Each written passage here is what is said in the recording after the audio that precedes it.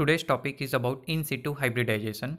In this technique, particularly probe is utilized to detect genetic abnormality in the tissue, which can be utilized for the diagnosis as well as for the treatment point of view. So in detail of this technique that we will look. So it is allow one to examine tissue under the microscope.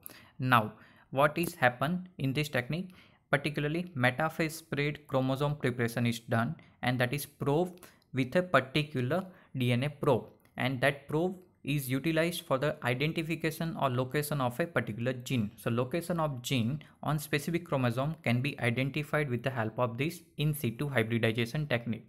Now further in detail of this in situ hybridization, a modification is done and what is that particular modification is helpful to detect this tissue or chromosome very easily. So if probe is tagged with a fluorescent dye or fluorescent labeled, then what happens?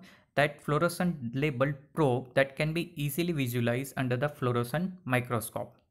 So that make to visualize whether that particular chromosome or gene is present or not in that particular tissue and that technique with the fluorescent labeled probe that is called fluorescent in situ hybridization.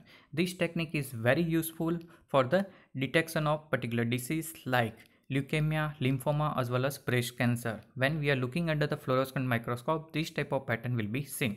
Now further in detail of this fluorescent in situ hybridization, this technique is used to analyze genetic disorder as well as to determine which cells in a particular organ are expressing the particular mRNA. So how it is useful? First particular probe that is developed so that already you are knowing that particular probe that is a single stranded polynucleotide now this probe that is labeled with a fluorescent dye. So here blue color dye is shown and this probe that is added over a particular tissue.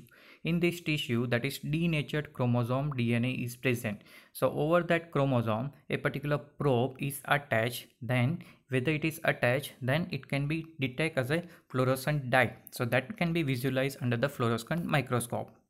So once that probe is attached, then fluorescence of that particular probe that can visualize under the microscope and that can be utilized for the whether there is a particular gene expression is present or not. Simply one example like Herceptin receptor. Now this receptor is expressed with the help of particular DNA to mRNA and mRNA to particular receptor formation. So whether that mRNA for that receptor production is there or not that can be detected with the FISH or fluorescent in situ hybridization. So a particular probe for that Herceptin receptor is added and if it is attached over that chromosome means that Herceptin receptor is present over the breast cancer cell. So if it is attached then we can give a treatment according to that Herceptin receptor. So that is use of that FISH not only for the diagnosis as well as for the treatment purpose. So that's all about the in situ hybridization as well as fluorescent in situ hybridization.